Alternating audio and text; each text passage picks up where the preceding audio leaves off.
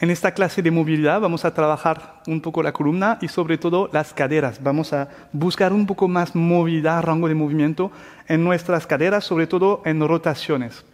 Nos va a hacer muy bien para toda la espalda baja, para toda la pelvis, los que tienen trastornos de desequilibrios en la pelvis, va a ser perfecto. Vamos a empezar con el ejercicio del cat cow uno de mis ejercicios favoritos. Me pongo en posición cuadrupedia con los hombros por encima de las muñecas y las caderas por encima de las rodillas. Voy a empezar con extensión de columna inhalando. Intento buscar el máximo de extensión lentamente y después exhalo, contraigo los abdominales e intento alejar el pecho del suelo lo más posible, haciendo una flexión con toda mi columna. Inhalo, vuelvo en extensión. Exhalo, flexión. Y poco a poco, en cada respiración, voy a ir un poco más lejos, intentar mantener un poco más la posición. Y alterno. Más flexión en cada parte de mi columna. Intenta imaginar, visualizar cada articulación lumbar, dorsal, cervical, intenta sentir cómo se mueven o cómo no se mueven. Intenta enfocarte en estas zonas sensibles. Por ejemplo, en mi, caso, en este momento, tengo una leve contractura al nivel de mi homóplato derecho. Me siento un poco incómodo en la extensión, entonces no esfuerzo mucho. Voy hasta sentir algo desagradable, me mantengo acá, intento buscar donde no se mueve bien, aumentar un poco donde no se mueve, respetando un poco mi dolor y vuelvo en flexión. Siento que la flexión me hace un poco bien, me quedo en esta posición y busco, puede ser un poco más estiramiento, muevo un poco mi columna, hay cosas que me hacen bien, intento investigar este cuerpo, inhalo, extiendo todo, Exhalo. Cada uno a su ritmo. Más flexión de columna, más flexión cervical si puedes. Y vuelvo con la extensión. Intento dejar el pecho caer en dirección del suelo, acerco el pecho del suelo, elevo la cabeza, elevo la pelvis. Ah. Y flexión. Ahora vamos a agregar algo. Vamos a hacer una extensión, mantengo la posición y mientras me quedo en extensión voy a adelantar mi cuerpo hacia adelante y después hacia atrás. Uno, dos movimientos y vuelvo en flexión. Flexión de toda la columna, voy un poco hacia adelante, un poco hacia atrás y puedo sentir que, bueno, cambia un poco la altura de la tensión máxima en mi columna. Cuando voy hacia atrás, se estira en, un lugar diferente de cuando voy hacia adelante. Es una variación para investigar un poco más mi cuerpo, para descubrir nuevas zonas de tensiones o nuevas cosas que me hacen bien. Y relajo. Ok, agregamos un poco de inclinación. Ahora vamos a hacer una inclinación hacia la derecha. Voy a acercar mi hombro de mi cadera derecha lo más posible, inclinando mi columna y siento la tensión en el lado opuesto, en mi lado izquierdo. Se aleja el, hombro de mi cadera. Cambio de lado. Voy por el otro lado, acerco el hombro izquierdo de mi cadera izquierda y estiro toda la parte derecha. Y alterno un lado y el otro. Lento. Toma el tiempo.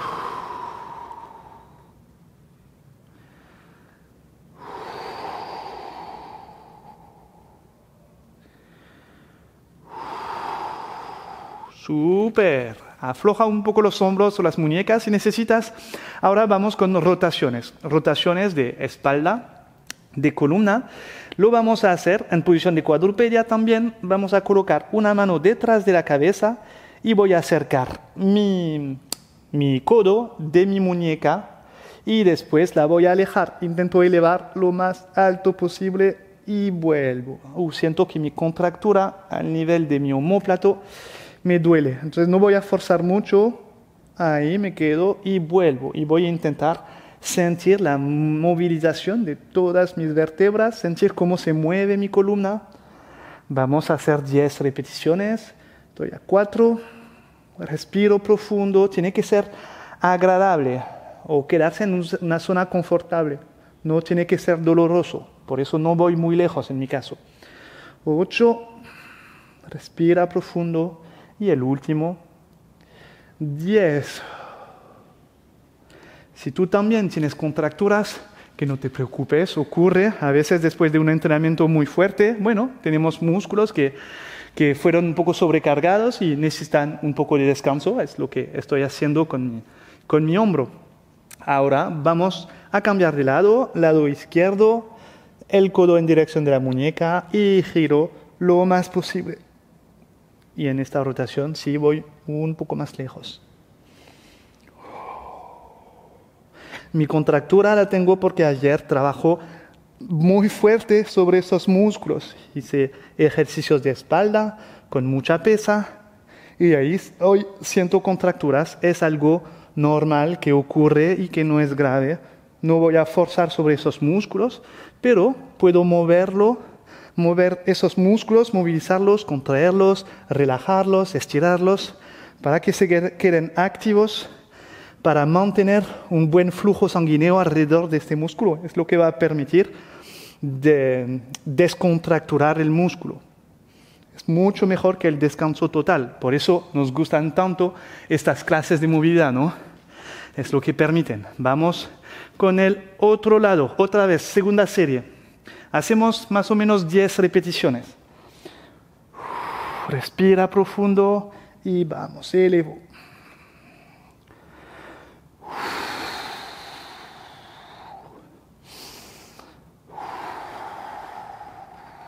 No hace falta ir muy rápido. Buscamos sentir cómo algunos músculos se contraen y cómo otros se estiran.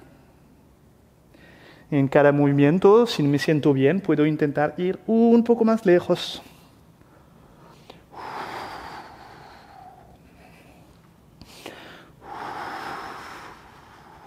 Let's go. Dos segundos más, dos repeticiones más. Y cambio de lado de nuevo. En mi lado izquierdo ahora. Mm. Hasta en la, en la espalda baja, en la pelvis se estira.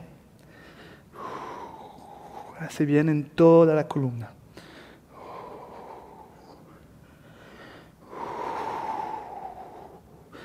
Cinco.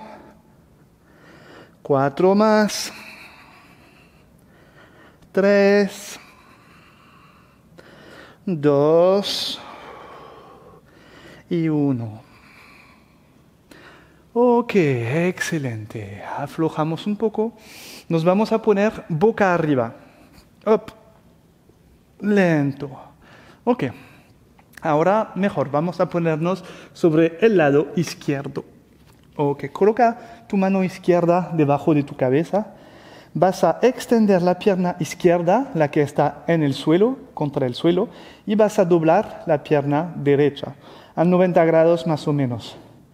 Puedes, la mano que está debajo de tu cabeza, la puedes colocar, si quieres, contra tu, rodilla. Si necesitas, ponte, colócate una almohada debajo de la cabeza. No es indispensable.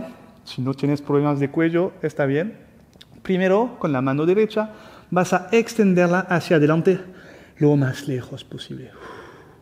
Y después vas a tirar el brazo y girar toda la columna hacia la derecha para intentar extender el brazo derecho. Mi mano izquierda intenta controlar la rodilla, evitar que gire demasiado. Respiro, aflojo el cuerpo y se estira toda la columna Vuelvo hacia adelante. No fuerzo en el estiramiento, ¿ok? Hacia atrás. Durante una exhalación profunda aflojo mis hombros, dejo caer el hombro y el brazo derecho en dirección del suelo. Pueden sonar las articulaciones de la columna, pueden crujir, es normal. Generalmente hace bien, pero no es lo que buscamos. No importa mucho que suene o no, Y si no crujen las articulaciones, no fuerces para que, crujen. Esto no sirve, no funciona. Te vas a lesionar. No fuerces en esos estiramientos. Aunque sientas que necesitas, que te va a hacer bien, generalmente lo que vas a hacer es generar una inflamación en los tendones. Y esto, señores, señoras, no lo queremos. Relaja. Ok. Vuelvo y cambio de lado. Mira, hazlo a tu ritmo. No cuento, mejor no contar las repeticiones. Prefiero que en cada repetición te quedes eh, hasta, hasta que necesites moverte. ¿ok? Si te hace bien quedarte un poco más tiempo, quédate más tiempo en una repetición. Si prefieres ir un poco más rápido, hoy vas más rápido. Se trata de lo que necesita tu cuerpo. Vamos, se trata de incluir más tensión, más activación, más movimiento en las articulaciones. Se trata de incluir movimientos que no solemos hacer durante el día para usar cada parte del cuerpo y estimularlas. Y para que estas partes, estos tejidos, se queden disponibles para nuestro cuerpo, porque cuando no usas una parte de tu cuerpo, un tejido en tu cuerpo durante mucho tiempo, pues este tejido pierde sus capacidades hasta puede destruirse. Y es lo que pasa cuando perdemos fuerza muscular. Se destruyen fibras musculares porque, porque no las necesitamos. Y perdemos masa muscular. Y la masa muscular es directamente relacionada con tu, con tu eh, higiene, con tu salud, perdón. Directamente relacionada con los riesgos cardiovasculares.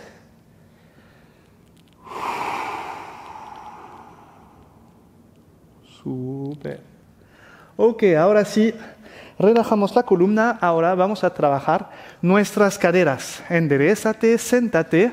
Vamos a colocar las manos eh, en el suelo, detrás de la pelvis, doblar un poco las rodillas y vamos a dejar caer las rodillas por un lado y el otro, solamente para, para calentar un poco las, las caderas, las articulaciones de las caderas. No pasa nada si no toques el suelo con las rodillas. Buscamos sentir un poco de tensión por un lado y el otro. En mi articulación coxofemoral, la articulación entre el femur, el hueso grande de la pierna, y el ilíaco, el hueso de la cadera. Ok. Si estás listo, vamos a dejar caer las rodillas en el suelo, encontrar una posición de shin box, una posición 90-90, 90 grados con las rodillas, 90 grados con las caderas. Intenta enderezarte lo más posible, si puedes.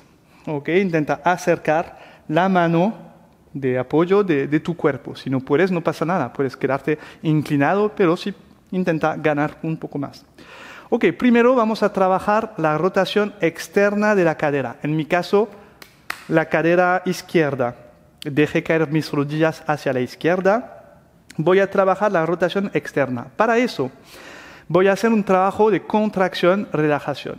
Primera contracción, voy a intentar empujar con mi, con mi pie contra el suelo, como si quisiera hacer una rotación, mantener la rodilla donde está, en la misma posición, pero empujar todo el tibia, la pierna, en dirección del suelo, una rotación interna.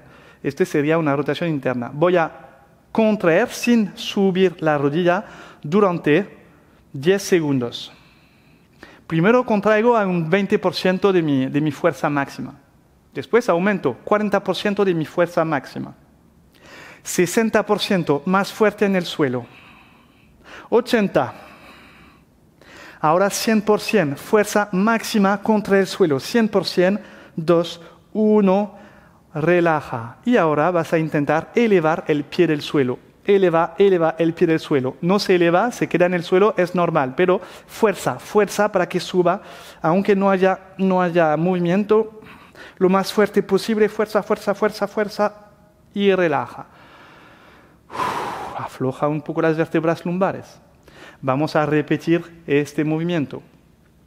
Ok, intento enderezarme un poco más si puedo, abro un poco más esta cadera. Mientras más me enderezo, más rotación externa le pongo acá. Es como una, una parte pasiva de estiramiento, un estiramiento pasivo. Volvemos con nuestra contracción, contracción de rotación interna con el pie que empuja contra el suelo. Empuja el pie 20% de tu fuerza máxima. Ahora aumenta 40%. La rodilla se queda en el mismo nivel, 60%.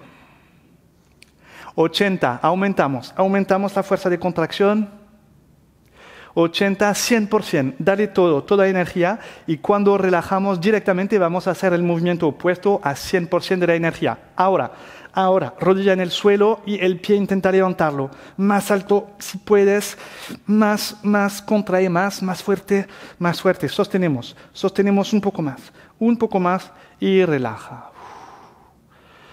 Relaja todo, lumbares, haz algunos círculos si necesitas. Ok, relaja.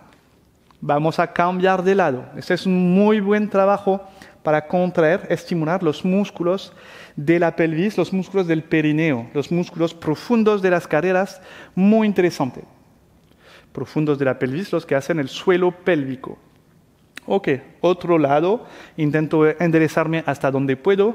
Puedes sentir seguramente ya una tensión diferente Después del ejercicio se aflojó un poco la rotación externa. Ahí siento que tengo tensión en este lado. Ok, vamos a contraer empujando el pie contra el suelo, 20%. Aumento, 40. Siento la contracción de los glúteos, algunos glúteos, músculos profundos, 60%. Toda mi pelvis se activa, 80% y le voy a dar un 100%. 100%, contraigo fuerte un poco más, un poco más, mantengo y ahora hago el opuesto. Subo lo más posible. No se ve ningún movimiento, es normal. Es normal, estás a tu máximo, pero intenta contraer mentalmente. Sube el pie, sube el pie más fuerte a 100% y relaja.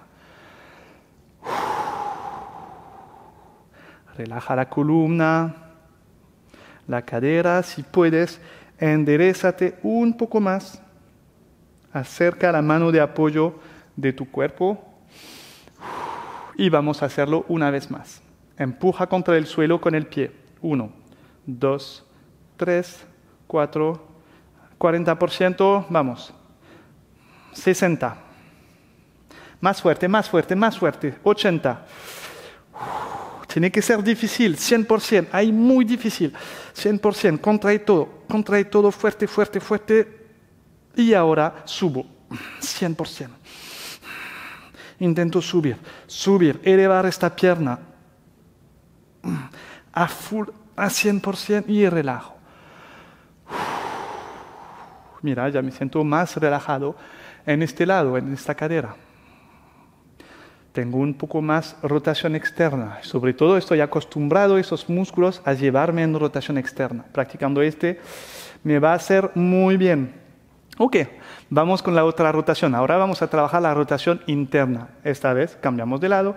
Esta vez vamos a trabajar la otra pierna, la pierna que está un poco posterior. Primero, el primer movimiento voy a intentar elevar la pierna del suelo, el pie del suelo. Esta es una rotación interna lo voy a hacer durante... Eh, no, perdón, voy a hacer lo opuesto. Primero vamos a empujar contra el suelo. Vamos a empujar contra el suelo a 20%, con el pie contra el suelo, 20%. Ahora 40%, aumento, aumento. Intento entrar el pie en el suelo, 60%. Uf, enderezate, 80% estoy al límite del calambre, entonces no, no voy mucho más lejos en la fuerza, si puedes, 100%. Si sientes el calambre que está llegando, intenta calmar un poco la contracción, mantener al límite y cuando puedes, vamos a elevar el pie. Ahora elevamos el pie, 100%, lo más alto posible, 100%.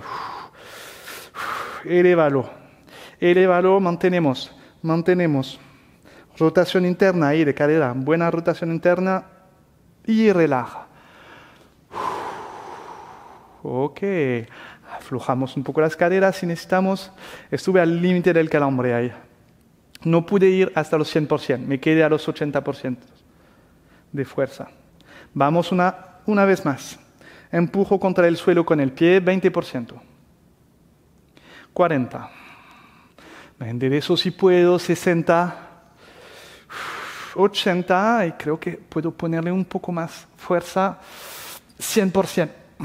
100% contra el suelo y vamos a cambiar movimiento opuesto, vamos con la rotación interna. Eleva, más alto el pie, más alto, más alto, mantén, mantén la contracción.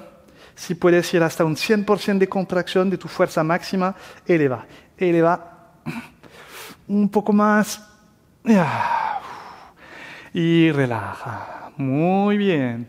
Ya seguramente esta posición te es mucho más confortable después de trabajar, de haber trabajado la rotación externa y la rotación interna de las caderas, te es más fácil, es el propósito.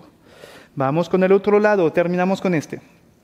Voy a empujar contra el suelo con mi, con mi pierna posterior, con el pie, 20%, 40, 60, 80, 100, más fuerte, más fuerte. 100% vamos. Y ahora elevo, elevo, más alto, más alto si puedes. siento que es diferente del otro lado. Me cuesta más elevar, más arriba, más arriba. 100% de, de, contracción. Vamos, vamos. Ah, y relaja.